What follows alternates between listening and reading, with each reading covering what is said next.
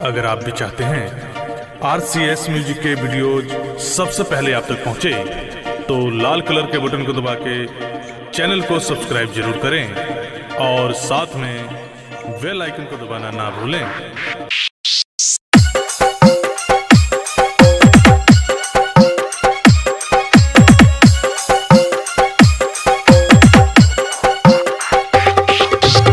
Thank